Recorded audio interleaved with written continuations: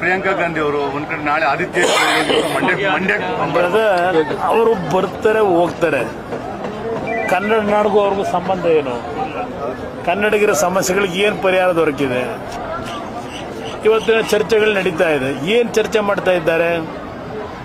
ವೀರಶೈವರ ಬಗ್ಗೆ ಸಿದ್ದರಾಮಯ್ಯನವರು ಏನು ಅಂದರು ಅಂತ ಹೇಳಿ, ಅದಕ್ಕೆ ಬಿಜೆಪಿಯವರು, ಅದಕ್ಕೆ ಇನ್ನೊಂದು ವೀರಶೈವರಿಗೆ ಅವಮಾನ ಮಾಡೋದಂತ ಅವರೊಂದು ಕಡೆ. ಇದನ್ನು ಹೇಳ್ಕೊಂಡು ಹೊರಟಿದ್ದಾರೆ. ಇದು ಹೊರತುಪಡಿಸಿ ಸಬ್ಜೆಕ್ಟ್ ಏನಿದೆ ಇವರಿಗೆ? ನಾಡಿನ ಜನತೆಯ ಸಮಸ್ಯೆಗಳ ಬಗ್ಗೆ ಏನಾದ್ರು ಚರ್ಚೆ ನಡೀತಿದೆಯಾ? ನಾನು ಕೇಳ್ತಕ್ಕಂಥದ್ದು. ಈಗ ನಿಮ್ಮ ಅಮಿತ್ ಶಾ ಅವರು ನೆನ್ನೆ ಪ್ರಮುಖವಾದ ಪತ್ರಿಕಾಗೋಷ್ಠಿಯನ್ನು ಹುಬ್ಳಿನಲ್ಲಿ ಇವತ್ತು ಡಬಲ್ ಇದ್ದಿನ ಸರ್ಕಾರದ ಏನು ಕೊಡ್ತೀವಿ ಅಂತ ಹೇಳ್ತಾ ಇಲ್ಲ. ಅದೆಂಥದ್ದು ಕಪಿ ಮುಷ್ಟಿ ಅಂತಕ್ಕಂಥದ್ದು. ಈಗ ಜೆ ಡಿ ಬಿಜೆಪಿ ಬಗ್ಗೆ ಏನು ಹೇಳ್ತೀರಿ? ಕಪಿ ಮುಷ್ಟಿ ಸೌದಿ ಅವರು ಡೆಪ್ಟಿ ಸಿ ಎಂ ಇದ್ದಾಗ ಇರಲಿಲ್ವಾ ಆಗ? ಅಂತ ಎಲ್ಲ ಕೇಳ್ಕೊಂಡಿದ್ದಾರೆ. ಅದನ್ನ ಹೇಳಕ್ ಡೆಲ್ಲಿಯಿಂದ ಬರಬೇಕಾ? ಕಪಿ ಮುಷ್ಟಿ ಬಗ್ಗೆ ಚರ್ಚೆ ಮಾಡಕ್ಕೆ ಹೋಮ್ ಮಿನಿಸ್ಟ್ರು ಇವರು ವಿಷಯಗಳೇ ಇಲ್ಲ. ಎರಡು ರಾಷ್ಟ್ರೀಯ ಪಕ್ಷಗಳಿಗೆ. ಇನ್ನು ಪಾಪ ನಮ್ಮ ಇವ್ರು ಹೇಳ್ತಾರಲ್ಲ, ನಾವು ಯಾರನ್ನೂ ಕಣ್ಣಲ್ಲಿ ನೀರು ಹಾಕ್ಸ್ತಿಲ್ಲ ಅಂತ ಹೇಳಿ.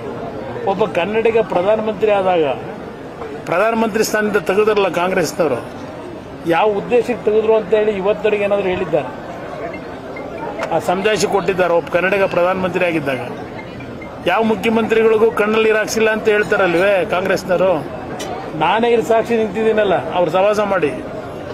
ಒಂದೇ ತಿಂಗಳು ಕಣ್ಣಲ್ಲಿ ನೀರು ಹಾಕಂದಲ್ಲ ಅದರಿಂದ ಇಲ್ಲಿ ಎರಡು ರಾಷ್ಟ್ರೀಯ ಪಕ್ಷಗಳು ಯಾವ ರೀತಿ ನಡ್ಕೋತಾರೆ, ನಮ್ಮ ರಾಜ್ಯದ ಹಲವಾರು ಸಮಾಜಗಳನ್ನ ಯಾವ ರೀತಿ ದುರುಪಯೋಗ ಪಡಿಸ್ಕೊಂಡಿದ್ದಾರೆ ಏನು ಮಾಡಿದ್ದಾರೆ, ಎಲ್ಲ ಇತಿಹಾಸ ಇದೆ. ಇವರಿಗೆ ಜನಗಳ ಅಭಿವೃದ್ಧಿ ಬೇಕಿಲ್ಲ. ಜನಗಳ ಕಷ್ಟ ಸುಖ ಯಾವ ರೀತಿ ಬಗೆಹರಿಸ್ತೀವಿ ಅನ್ನೋದು ಬೇಕಿಲ್ಲ ಇವರಿಗೆ. ಒಟ್ಟಾರೆ ನಾವು ನೂರ ನಲ್ವತ್ತು ಗೆಲ್ಲಬೇಕು, ನೂರ ಮೂವತ್ತು ಗೆಲ್ಲಬೇಕು. ಅದಿಟ್ಕೊಂಡು ಹೊರಟಿದ್ದಾರೆ. ಗೆಲ್ದ ಮೇಲೆ ಏನು ಮಾಡ್ತೀವಿ ಅಂತ ಏನಾದ್ರು ಹೇಳ್ತಾ ಇದ್ದಾರಾ?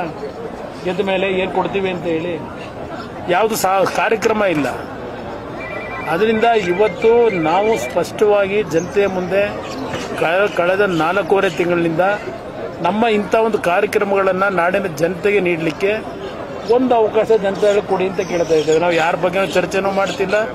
ಯಾರ ಬಗ್ಗೆ ಟೀಕೆನೂ ಇಲ್ಲ ನಮಗೆ.